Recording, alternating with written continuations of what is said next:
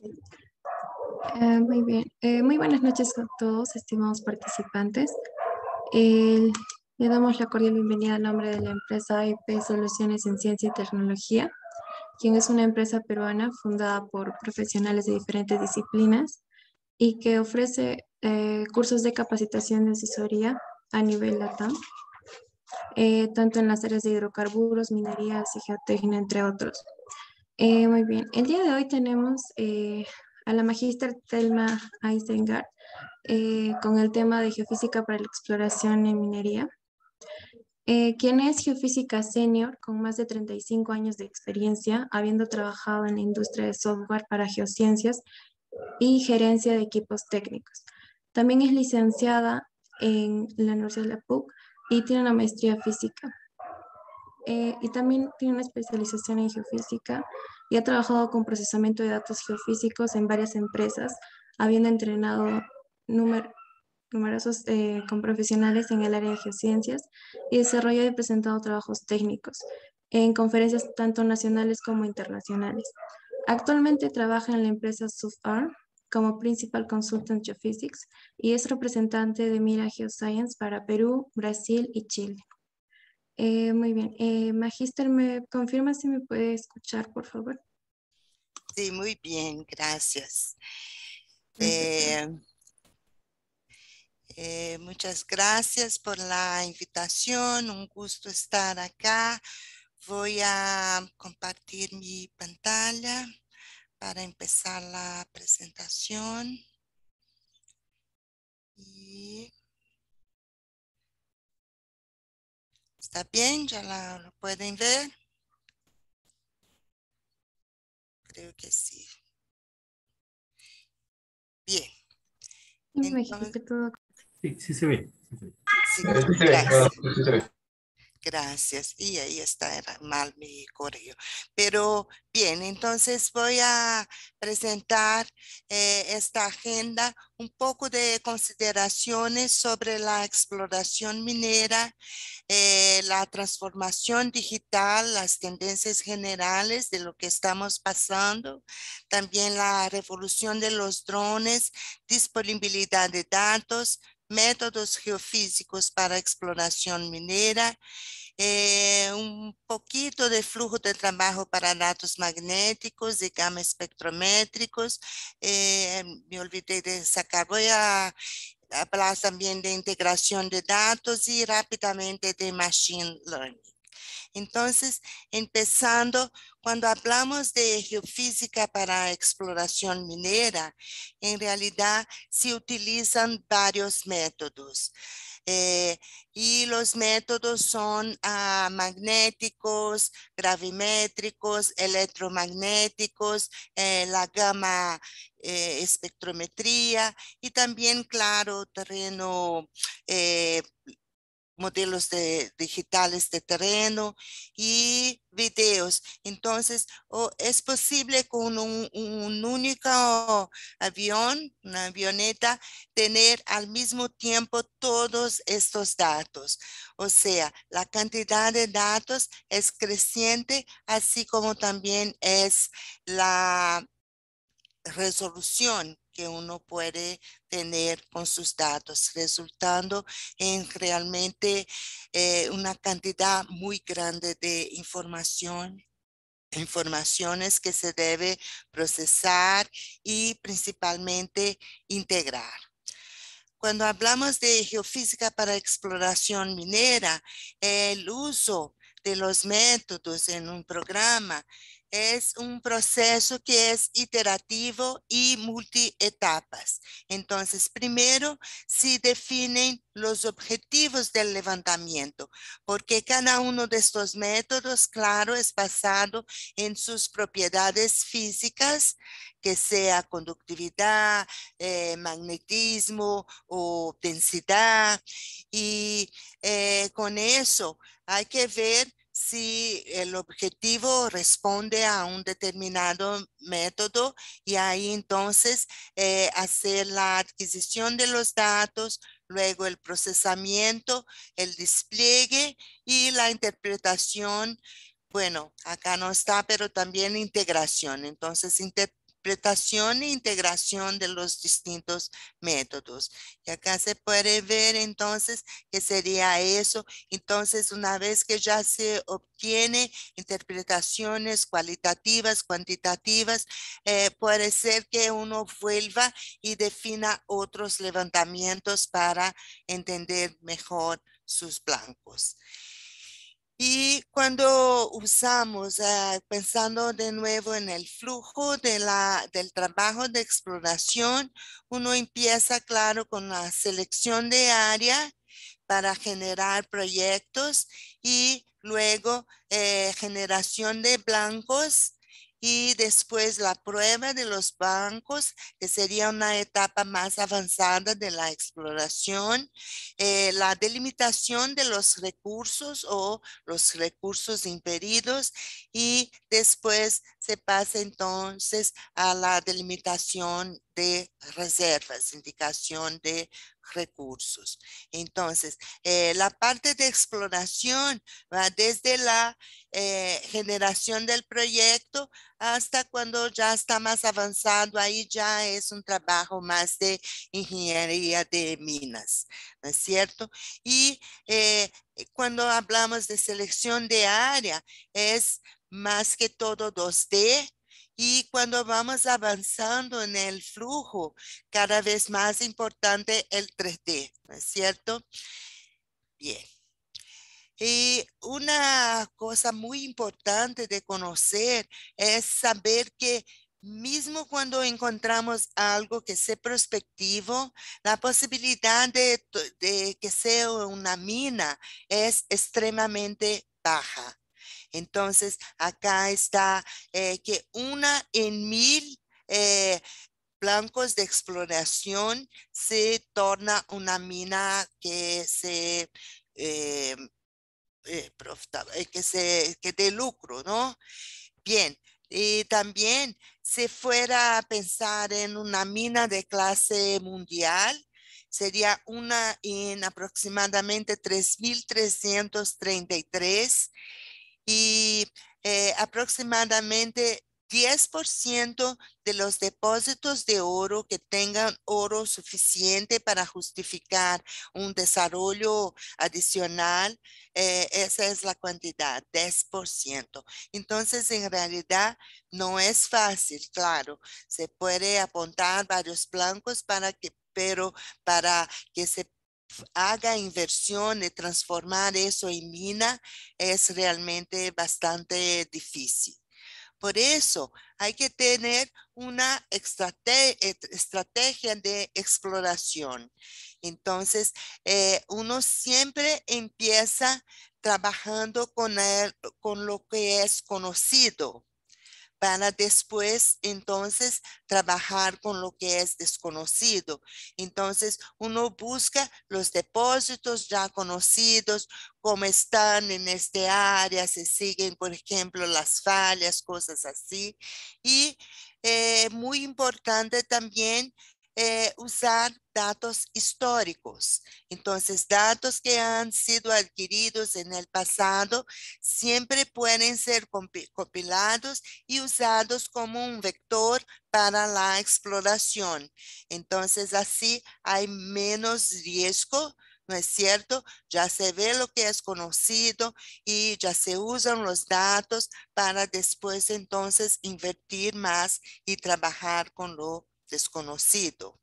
Entonces, eh, las, las posibilidades son pocas, pero hay dos maneras de mejorar la, esta posibilidad de suceso, es tener un equipo fuerte entonces, hay que tener un equipo fuerte, competente y claro, un equipo que es multidisciplinario, porque en realidad uno trabaja, son geofísicos, son geólogos, geoquímicos, cada uno con su especialidad, ya que es muy difícil tener todo el conocimiento, pero trabajar en equipo, en conjunto para realmente posibilitar tener más suceso. Y otro es el uso de los datos. Entonces, la manera que el equipo eh, adquiere los datos, analiza, interpreta los datos históricos y los actuales a través del proceso de exploración es crucial. Entonces, eh, para tener suceso hay que pensar en eso. Y hay algunas tendencias ah, de la exploración minera. Entonces, por ejemplo, acá analizando el número de descubiertas eh, desde los años 1900 hasta 2020. Entonces, eh, ¿qué se usa? ¿De qué manera? Entonces, uno puede ver, por ejemplo, la geofísica está acá en rojo, la geoquímica está como verde y lo que es marrón sería geofísica más geoquímica. Se puede ver que geofísica y geoquímica son, ambas son muy importantes para herramientas para búsqueda de blancos a la escala de prospectos. Y acá al lado, déjame, acá al lado se puede ver también eh, los varios ah, métodos que fueron usados para decidir eh, en la primera perforación, ¿no es cierto? Hacer la primera sondaje con los datos. De nuevo, vemos que la geofísica y eh, geoquímica igualmente son muy importantes. Entonces hay otros, claro, mineralización conocida y otros métodos, pero se puede ver que esas eh, permiten realmente eh, buscar y ubicar la, el sondaje.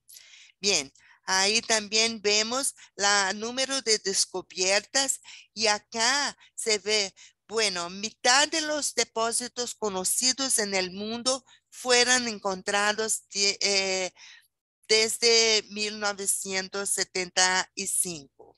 Entonces, eh, lo que se ve acá es eh, la los años, ¿no es cierto? Y el número.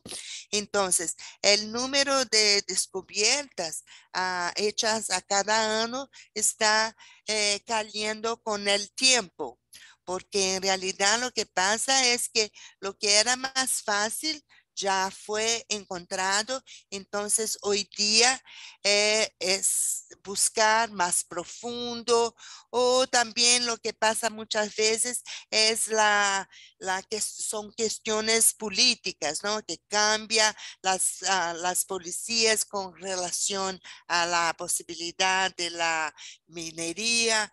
Entonces, eso muchas veces eh, las personas se van. Entonces, cuando hay cambios en el país, Y bien, todos nosotros ya pasamos por eso.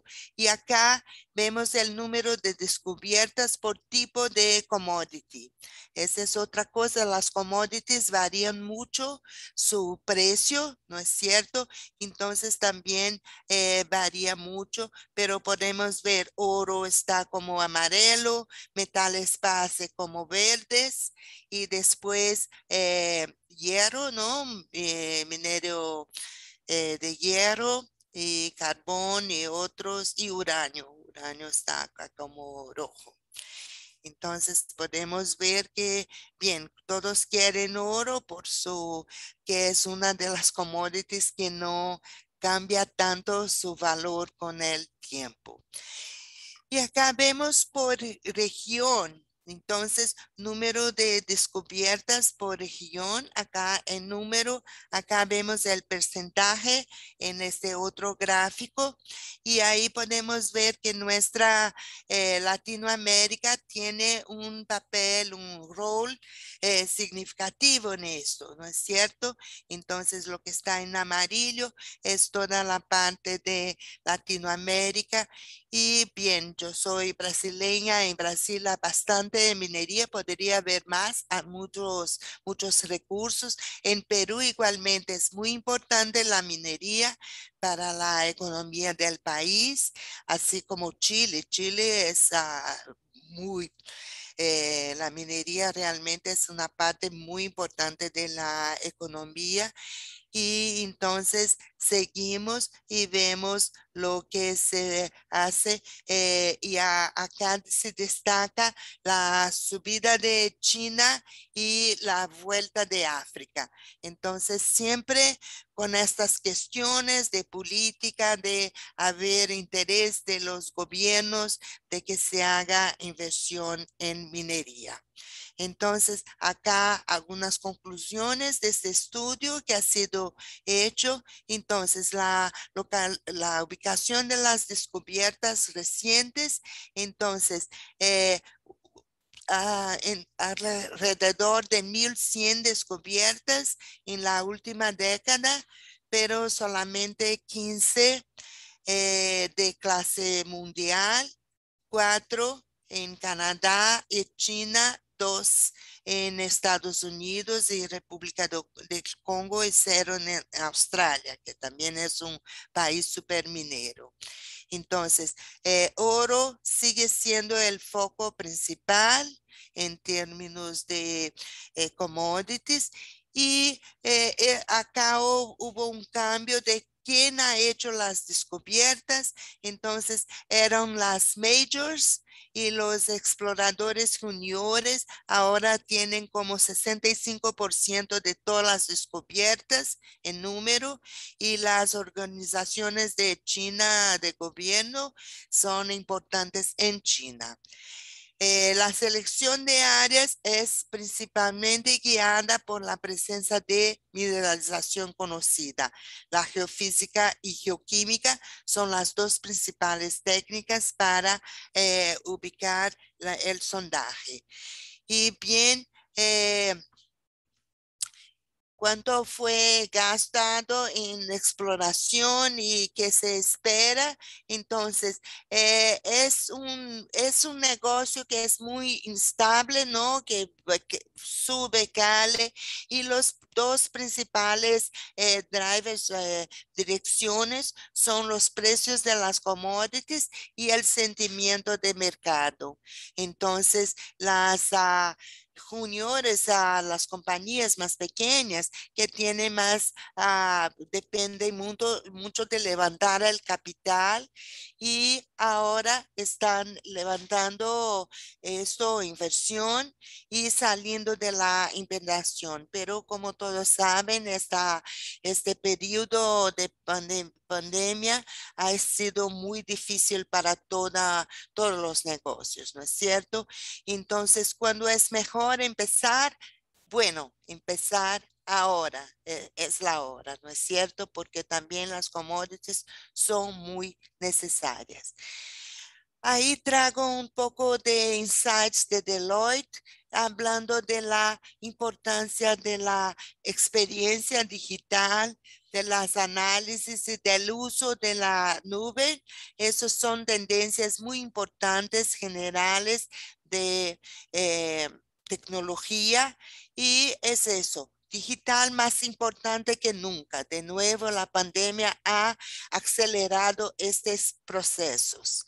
Los datos respaldan el futuro digital de las industrias. Entonces, los datos son súper, súper importantes y eh, las soluciones de inteligencia artificial van a asistir, automatizar y acelerar las personas, operaciones y negocios. Y los cambios que fueron impulsionados por la COVID van a permanecer a largo plazo. Entonces, esa es una larga discusión que hay, trabajo de casa, se va a volver o no, pero a mí yo creo que eso va a ser un visto que nadie va a voltar integralmente. Ah, claro, los que trabajan, trabajan en terreno, que siempre fueron parte en casa, parte en el terreno, eso sigue, ¿no?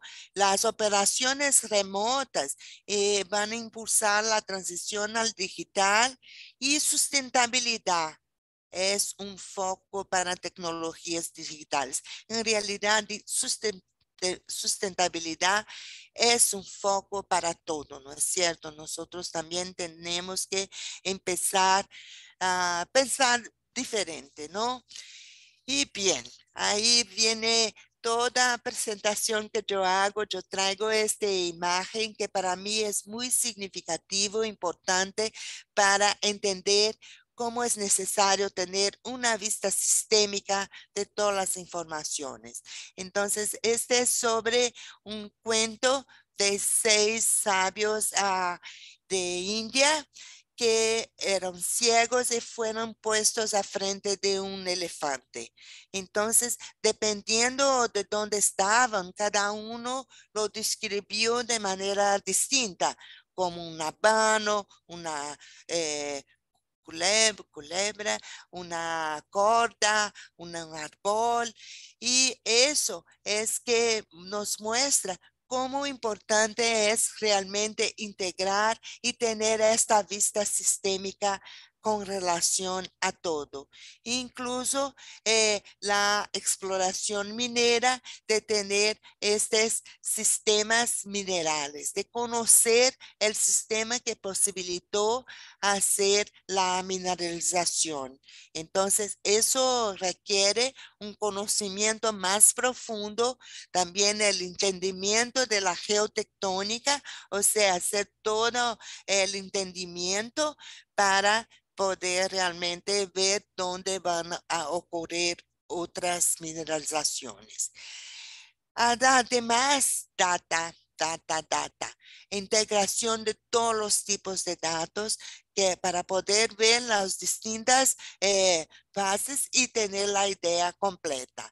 También la inteligencia artificial, incluyendo el aprendizaje de máquina, machine learning, aplicados a los datos, porque también con tantos datos se pueden entonces aplicar eh, algunos métodos que nos van a posibilitar eh, interpretar de manera más completa.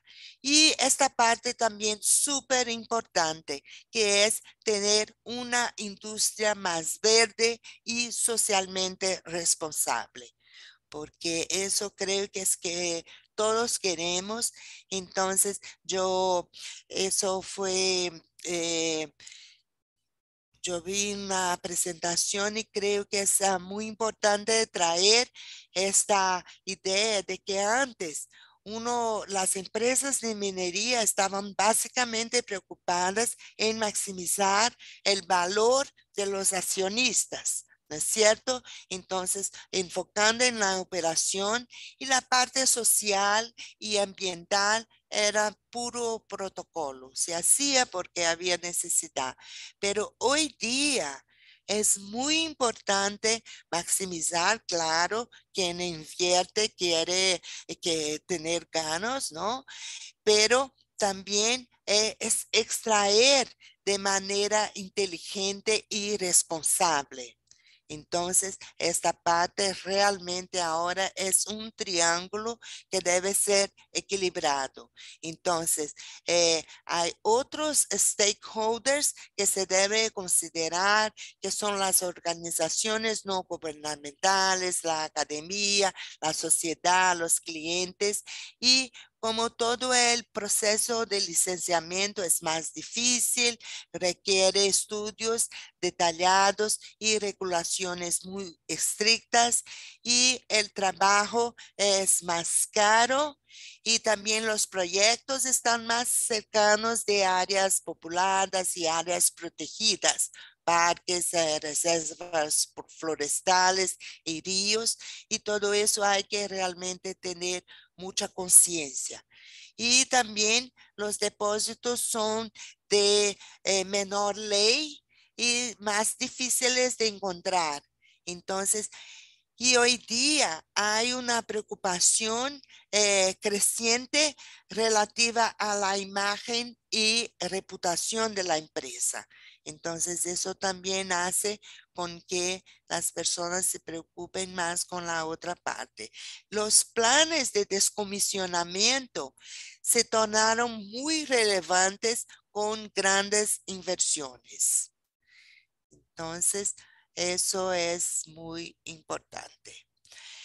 Bien, otra cosa es la revolución que los drones han traído. Entonces, por ejemplo, hay varias aplicaciones importantes para los drones, como combate al fuego o como mantención predictiva de redes de energía y también operaciones de rescate en zonas de desastre natural, servicios para ciudades y eh, ubicaciones aisladas, pero también para levantamientos aéreos, ¿no es cierto?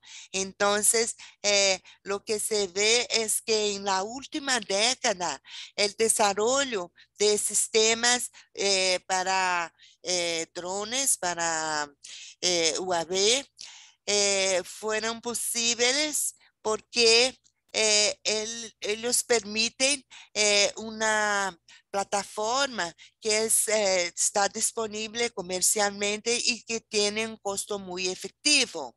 También desarrollo fueron desarrollados sensores magnéticos de bajo peso para que el dron lo pueda cargar y también eh, desarrollo de software para eh, permitir el planeo y el procesamiento de los datos. Entonces, por ejemplo, eso es importante porque en Perú, por ejemplo, donde hay este, en los Andes, donde hay relieve muy accidentado, es muy difícil volar en avioneta, ¿no es cierto? Siguiendo el terreno, hay que hacer el vuelo muy arriba por cuestiones de seguridad y con eso se tiene una baja resolución que no es ideal. Entonces, haciendo levantamientos con drones es posible entonces obtener datos con mucho más resolución. Y ahí se ve un sistema de UAV para exploración minera y las ventajas son, es la eficiencia, la flexibilidad, los costos, ¿no es cierto? Disminución de y seguridad. Entonces, realmente es una, es importante. Acá e, es, de un trabajo que yo eh, participé con ah, José Arce, que lo deben conocer, es un importante geofísico en Perú y también con Carlos Fuentes, que es el geofísico para eh, Vale Andina y nosotros desarrollamos y presentamos este trabajo comparando un vuelo de helicóptero con un levantamiento hecho con dron en el mismo área. Y ahí se puede ver en realidad lo que pasa. Cuando uno vuela muy arriba del terreno, se puede perder informaciones muy importantes. Entonces, por ejemplo, si se está a 150 metros eh, del terreno, ya se pierde, que son varios eh, cuerpos que están acá, solo a 40 metros que se puede distinguir bastante bien. Y acá se ve también eh, tanto la comparación de los costos, ¿no es cierto? Eh, pensando en kilómetros lineares, que es como las empresas eh, las empresas cobran los, por los levantamientos y también en términos de resolución. Entonces, si no es un levantamiento regional muy grande, porque ahí ya no hay ganancia, entonces si son pequeños levantamientos de follow-up, realmente los drones nos ayudan mucho. Acá otro otra comparación de los mismos datos y finalmente el modelo que se puede ver que el modelo es muy, mucho más detallado de los datos de dron comparados con los datos de helicóptero. Bien de nuevo, voy a pasar. Bien, eh, con relación a disponibilidad de datos, eso es muy importante. Entonces, por ejemplo, en Brasil, así como en otros países, Australia, Canadá, Estados Unidos, algunos países de África, hay bases de datos que son libres, gratuitas, que uno puede realmente acceder y uh, obtener estos datos para hacer sus pruebas, para practicar con datos reales. Entonces, eh, en Brasil, en el Servicio Geológico de Brasil, CPRM, hay bases de datos exclusivos y no exclusivos de levantamientos aéreos con espazamientos de líneas de 1 a 2 kilómetros, tecnología de los años 70 y 80 y también levantamientos geofísicos aéreos con alta resolución, alta densidad de muestreos y son de datos magnéticos y gamma espectrométricos. Entonces, con eso, ahí se puede ver, cuántos proyectos hay, eh, por casi todo el país. Ahí son también otras páginas y el listado de los proyectos disponibles. Eh, bien, entonces ahí es un ejemplo. También, por ejemplo, en Queensland, en Australia, eh, la gran variedad de datos y otro en Botswana, en África. Y eso es algo que bueno, ah, yo sé, al menos hace algunos años cuando estuve en contacto con Ingemet, que hay plan para también tener eh, datos disponibles en Perú. Eso es muy importante porque realmente eh, llama para inversión empresas que pueden hacer sus primeros estudios y pensar en áreas y de ahí invertir y poder eh, trabajar y venir al país con sus inversiones que tanto necesitamos en realidad. Bien, acá se puede ver entonces el, flujo eh, de levantamiento geofísico que la, ya les había mostrado y pensando ahora más en geofísica para exploración minera, los métodos que son usados en exploración sirven para el mapeo y también identificación de ambientes geológicos favorables a la mineralización. Entonces, hay cinco clases distintas de métodos geofísicos que se pueden clasificar por las propiedades físicas de la geología, que serían, por ejemplo, gravimetría y magnetometría, donde eh, usamos, eh, donde se puede estimar la densidad y magnetización midiendo las variaciones de la gravedad y del campo magnético de la Tierra. La radiometría o gamma espectrometría que usa la radioactividad natural para estimar el contenido de radioelementos en las rocas. Radiometría es un método que es geofísico por su origen, pero es uh, eh, realmente mide ese contenido de radioelementos. entonces es más superficial, es más cercano a la geoquímica, ¿no es cierto? Y la sísmica que mide la variación en las propiedades elásticas de las rocas, observando las ondas sísmicas que pasan a través de ella. Este método es muy efectivo en estratigrafía, en campas y usado extensivamente en la industria de petróleo y gas y menos usada en la industria de minería, eh, pero hoy día, como los blancos están cada vez más difíciles, está siendo oh, más usado para exploración minera también. Bien y los métodos eléctricos, que son basados en las propiedades eléctricas de las rocas y minerales, y ese es más diversificado de estas cinco clases. Entonces tenemos la conductividad eléctrica o su inverso, resistividad, que son las propiedades que son medidas eh, usando las diferencias de potencial eléctrico de las rocas. Cuando los potenciales vienen de procesos naturales, entonces la técnica es conocida como potencial espontáneo o autopotencial, self-potential.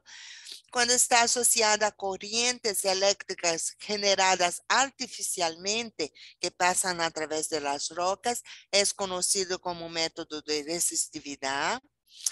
Y una extensión de este método es la polarización inducida que mide la capacidad de la, roca para almacenar energía. Y también se pueden eh, investigar las propiedades eléctricas usando corrientes eh, eléctricas creadas y medidas por inducción electromagnética. Esos son los métodos electromagnéticos. Y dependiendo de la implementación de la técnica, otras propiedades eléctricas de las rocas pueden influenciar las medidas, pero la conductividad eléctrica sigue siendo un factor importante. Otra forma de clasificar estos métodos es basado en las fuentes. Entonces podemos pensar en los métodos pasivos que usan las fuentes naturales de energía para investigación. Entonces las medidas son hechas con un detector, sensor o receptor. Él mide la respuesta de la geología local a la fuente natural. Entonces sería la gravimetría, magnetometría, radiometría, el autopotencial y el magneto telúrico que usa el campo de la Tierra. Entonces, estos métodos también son menos dañinos al medio ambiente porque no usan fuentes. Entonces, también eh, hay menos impacto o poco impacto ambiental cuando se utilizan estos métodos. Y los activos son los que usan fuentes externas para aportar algún tipo de energía en la tierra, como por ejemplo las ondas sísmicas, corrientes eléctricas, ondas electromagnéticas y la respuesta del suelo es medida con un detector. Eh, entonces, uno necesita tanto un receptor como un transmisor. Los métodos activos son más complicados y caros. Desde otra perspectiva, la transmisión de energía en el suelo puede ser controlada y de manera producir resultados de informaciones específicas de la subsuperficie enfocando en una región de interés. Entonces también tiene esta ventaja que uno puede modular y, y usar, eh, controlar su fuente de manera a también tener más control de la respuesta. Y ahí entonces es solo un, un dibujo para mostrar la avioneta va pasando en las ubicaciones. En general, cuando es aéreo, se hace por líneas terrestres muchas veces también. Entonces, eh, y ahí se mide la respuesta de una mineralización, por ejemplo, que acá está en, la, en estas secciones y acá, por ejemplo, hay un contacto, entonces son respuestas distintas. Acá si uno usa eh, una, un tipo de levantamiento desde eh, el sondaje, también se ve respuesta en profundidad y cuando hay algún tipo de transmisor también hay la entrada de energía artificial que va a, eh, actuar con la mineralización y la respuesta es una combinación. Bien, esta es una tabla súper importante que muestra eh, cómo, eh, cuáles son los métodos eh, tipos específicos de depósitos mineros. Entonces, eso cuando se va a planear lo que se está buscando. Entonces, hay que ver si el, método que uno quiere responde, responde bien a este tipo de depósito. Entonces acá se puede ver que magnetometría aérea es muy buena para determinación de la estructura geológica para varios tipos de mineralización de depósitos mineros, también para búsqueda de blancos en varios. Se puede ver los rojos son muy efectivos, verde moderadamente efectivo y azul no efectivo en general.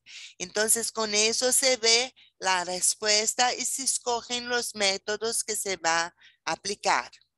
Esta es una tabla que viene de esta asociación de Canadá ¿no es cierto? De recursos.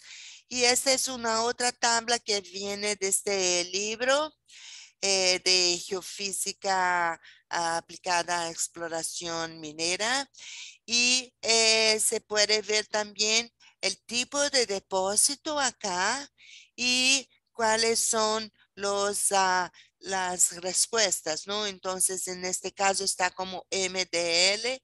L sería para downhole, en el sondaje, M para mapeo geológico de terrenos y prospectividad y D para detección de lineación del ambiente mineralizado. Entonces, hay varios recursos que se debe buscar para escoger el método. Y acá es el costo, costo aproximado. Entonces, están, tenemos área en el eje X y el costo en el eje Y eh, costo relativo aproximado, ¿no es cierto? Se puede ver que el costo más alto es de la sísmica, por eso que es menos usada en minería y petróleo, claro, porque son escalas distintas, ¿no? Eh, y acá se puede ver que el que tiene costo eh, área más efectivo es realmente los datos gravimétricos y aeromagnéticos, datos de dominio público, ¿no es cierto? Que se puede cubrir como eh, eh, decenas de kilómetros cuadrados con un costo muy bajo. Y ahí va subiendo. Y acá es también una comparación de un único sondaje comparado a cuánto se puede eh, adquirir en varios tipos de métodos, ah, tanto aéreo como terrestre. Por eso que se hace tantos eh, levantamientos antes de realmente ubicar un, un, sondaje. Entonces, acá, eh, importante también saber ¿Cómo se define la resolución de un levantamiento, por ejemplo, aéreo? Eh, entonces, el espaciamiento entre las líneas determina la escala de mapeo geológico, o sea, la resolución horizontal. Y la altura de vuelo relativa al terreno es lo que determina la resolución vertical. Además, claro, hay que considerar la topografía, el objetivo y el costo. Entonces, ahí es una cuestión de encontrar. Bien, acá ya estamos viendo cómo los datos magnéticos varían con la latitud entonces, una misma fuente en distintas inclinaciones magnéticas va a, mostrarse de maneras distintas. Por eso, porque el método magnético, eh, eh, eh, el, campo magnético es dipolar y con eso tiene esta variación resultando en la dificultad de interpretar. Bien. Eh, acá un ejemplo de inversión de datos magnéticos, porque ahora ya podemos contar con la inversión, la posibilidad de hacer inversión de los datos resultando en un modelo de propiedad eh, física. Entonces, ese fue un estudio que hice, hicimos, yo hice con algunos colaboradores en este área de Brasil, que está en uh, Goiás, entonces, en Amaralina, Mara Rosa, Campos Verdes, Santa Teresina, que están acá ubicados. Acá está la geología, las ocurrencias minerales, ¿no es cierto? Y las los áreas que escogemos para hacer las inversiones. Acá está la leyenda de las ocurrencias minerales. Y bien, uh, no voy a hablar de eso. Acá son los resultados ya. Entonces, para campos verdes se pueden ver eh, lo que son de amplitud más alta o el volumen del modelo que se puede entonces hacer clip en direcciones distintas y rápidamente. Eso fue un gran avance y con relación a la posibilidad de la eh, geofísica. Entonces, eh, acá un poquito de gamma espectrometría mostrando con el terreno cómo esa es un método de penetración muy baja, eh, es muy superficial y con eso realmente resulta en un mapeo geológico, ¿no es cierto? Se puede identificar las distintas eh, litologías eh, usando este método. Además, también en terrenos con mucha vegetación, donde, por ejemplo, las imágenes satelitales no tienen tanto uso, ese es un método bastante apropiado. Acá son varios temas relacionados a gamma y la gravimetría también con sus reducciones, entonces nos permite eh, ver las distintas densidades donde hay una alto, bajo y sus aplicaciones están también como mapeo geológico, exploración minera y importante para la parte de geotectónica. Aquí el mapa gravimétrico de Brasil hecho por CPRM y voy a pasar porque no tenemos mucho tiempo.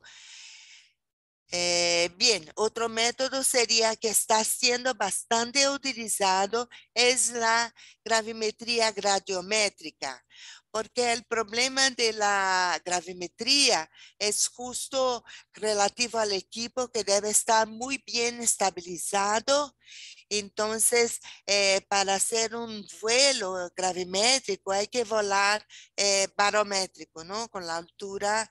Entonces, eh, si uno usa gradiometría, uno puede cancelar estos ruidos y obtener más informaciones.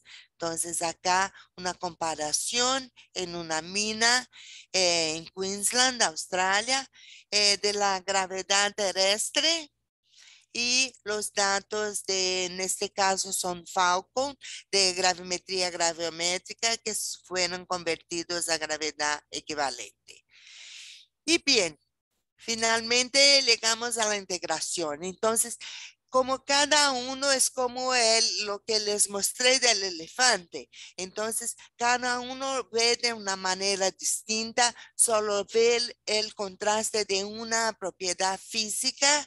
Entonces, con eso es muy importante integrar todos los datos los datos de grids ah, magnéticos, los, ah, la interpretación hecha, los datos de sondaje, modelos de eh, bloques, eh, modelos de inversión, la topografía, y eso es realmente fundamental, integrar todo.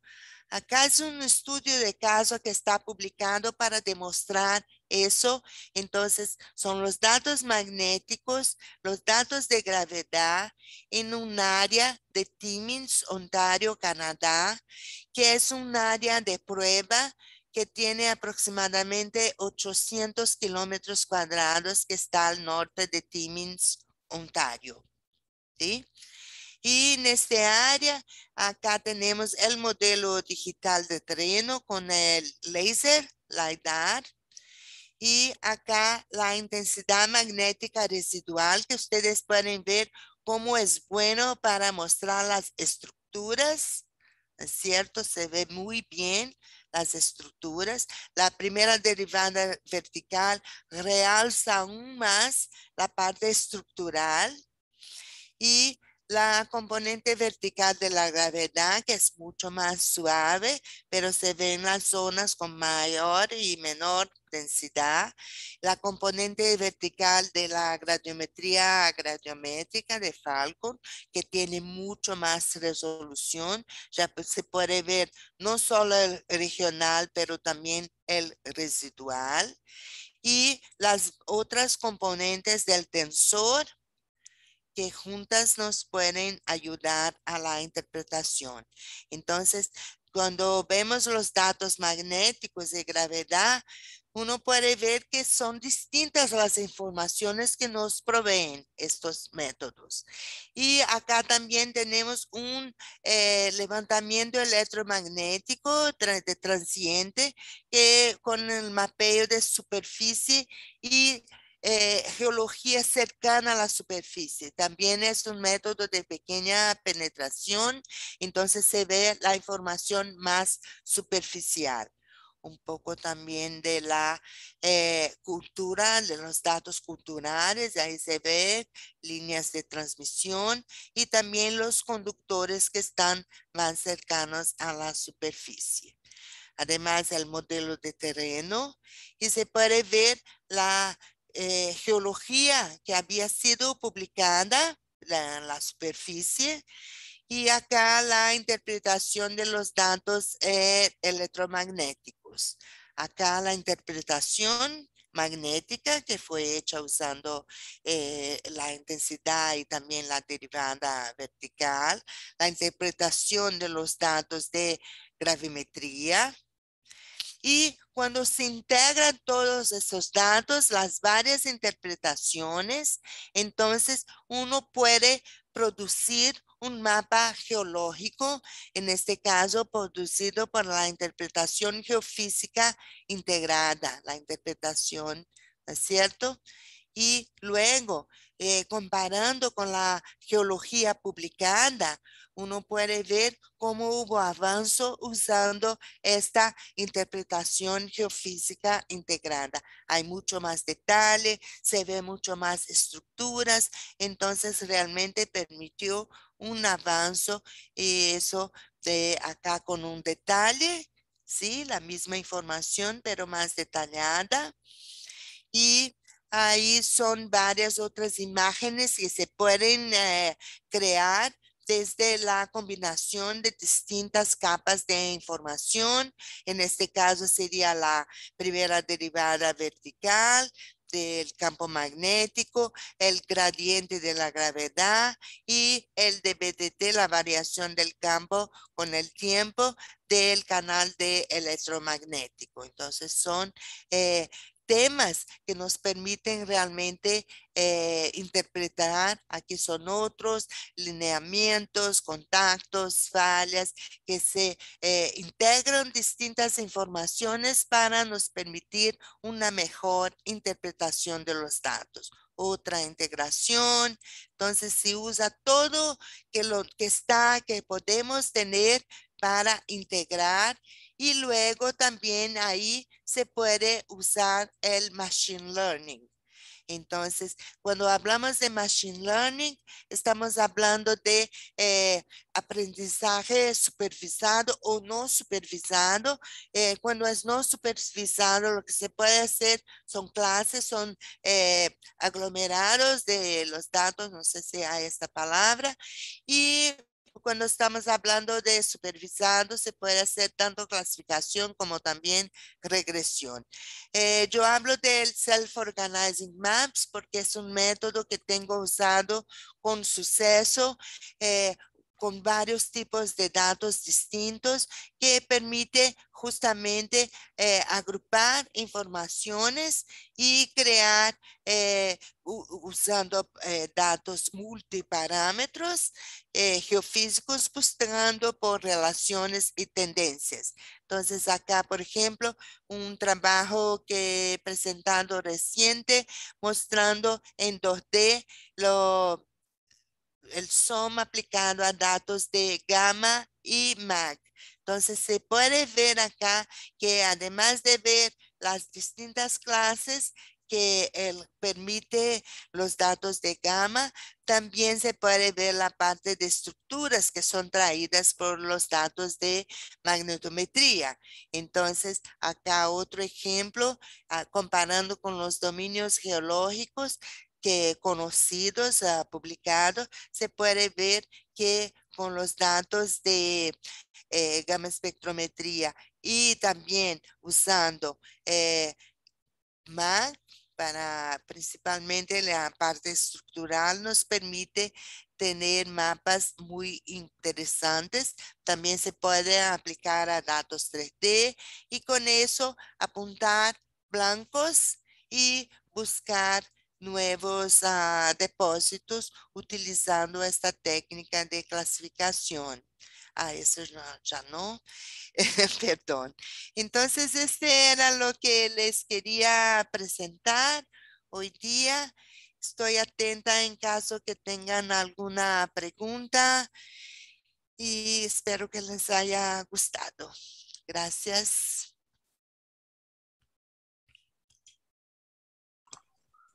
Sí, Magister Terma, la, verdad estuvo muy bonita la presentación y también este, le agradecemos ¿no? por su apoyo con nosotros en la empresa IP. Y a ver si es que alguien de los presentes tuviese alguna pregunta, puede ponerla en el chat o alzar el micrófono. Ah, buenas noches, Magister. Eh, quería hacer una consulta. Ah, hace ya unos años apareció nuevos conceptos, por ejemplo, el concepto de vector de magnetización este, y otros conceptos más que han mejorado la interpretación de la magnetometría. Entonces, quisiera saber si usted usa esos nuevos conceptos, esos nuevos enfoques y qué resultados han dado hasta el momento. Sí, perfecto. Muchas gracias por su pregunta. Realmente ese concepto de la inversión de vector de magnetización ha cambiado bastante eh, el uso efectivo de la magnetometría, porque antes solamente se hacían modelos de susceptibilidad que eh, cree que toda magnetización es inducida y lo que vemos es cada vez más que a nivel de depósitos la remanencia o otros efectos son muy importantes. Entonces, una vez que se empezó a usar esta inversión del vector de magnetización, eh, es posible eh, apuntar los blancos con mucho más ah, certeza, ¿no es cierto? Eh, porque, y ahí justo, por ejemplo, este, déjame mostrar este slide acá. Entonces, en este caso, el SOM aplicado a datos 3D eh, fue el SOM que apliqué sobre la inversión del vector de magnetización. Acá puedes ver una sección y acá se pueden ver los distintos eh, clases anómalas y eso realmente ha cambiado bastante. Entonces, yo soy una, una, persona que siempre cuando voy a hacer inversión de datos magnéticos uso esta inversión. Y hay varios trabajos publicados. Si tiene interés también puede escribir a mi correo y yo le puedo enviar algunos trabajos en este con este, déjame ponerme, mi correo estaba mal, una N, sí. Entonces, si quiere, yo le puedo indicar algunos trabajos importantes relativos a esta inversión. muchas gracias, muchas gracias.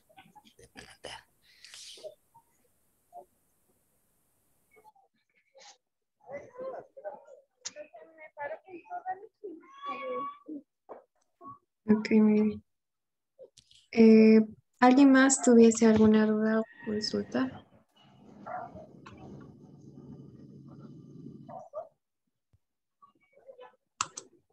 acuerdo, me parece que no. Bueno, aprovechando que no hay preguntas, este, Magister, ¿usted podía comentarnos, digamos, actualmente la gravimetría, bueno, magnetometría con drones ya se conoce, pero muchos afirman que también se puede hacer gravimetría con drones. Bueno, la verdad nunca he visto esos datos, nunca se ha procesado, pero para hacer las correcciones por terreno, para hacer las correcciones al aire libre, ¿es posible? Bien, yo también tampoco he visto ninguno, eh, pero también oí que ya estaban haciendo, pero yo no he visto y eh, me parece un poco difícil justo porque eh, el, la aerogravimetría eh, no es tan buena por eso, por, por la cuestión de tener que volar siempre a eh, una elevación constante en vez de seguir el terreno, que es ideal, ¿no es cierto? Y no vi, pero alguien ya me había dicho que incluso ha visto un, eh, una un levantamiento de gradiente gravimétrico. Entonces, eh, no sé si realmente no, no le podría decir, había que investigar un poco más. No he visto y creo que es, es uno de los métodos más difíciles a transportar para el dron porque realmente el movimiento interfiere mucho, ¿no? Pero magnetometría cada vez más se utiliza, ya hay magnetómetros desarrollados para eso y eh, ya he visto otros métodos ah, también, pero gravimetría no. Dicen que hay, pero no he visto.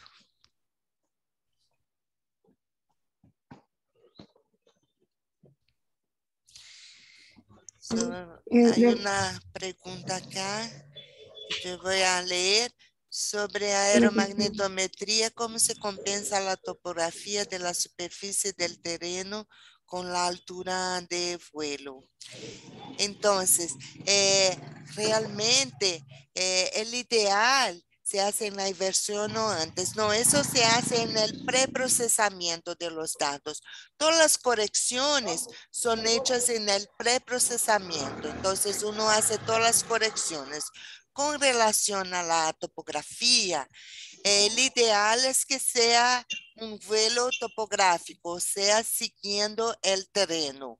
Entonces, con eso, lo que se hace, por ejemplo, en si es un levantamiento aéreo, si utilizan líneas de control, se hacen las líneas de vuelo, supone norte-sur, y se hacen líneas de control aproximadamente 10 veces la distancia entre las líneas de vuelo para justamente poder hacer la nivelación estadística de los datos y eh, tenerlos eh, aproximadamente a la misma altura del terreno. Es una de las correcciones que se hace. Y si es, el vuelo es barométrico, o sea, elevación constante, lo que se hace es post-procesamiento, hacer continuación analítica para llegar eh, en, por partes para llegar a una esta corrección.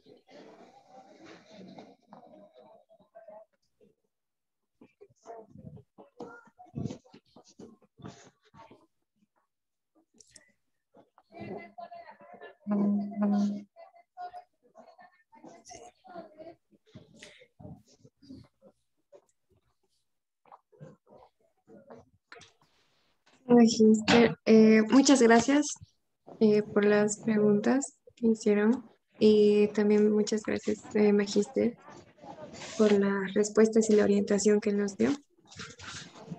Sí, muchas gracias por la invitación, por las preguntas también, por la atención y espero cualquier cosa, tienen mi contacto, estoy a disposición. Fue un gusto estar con ustedes esta noche y bueno, buenas noches a todos y gracias.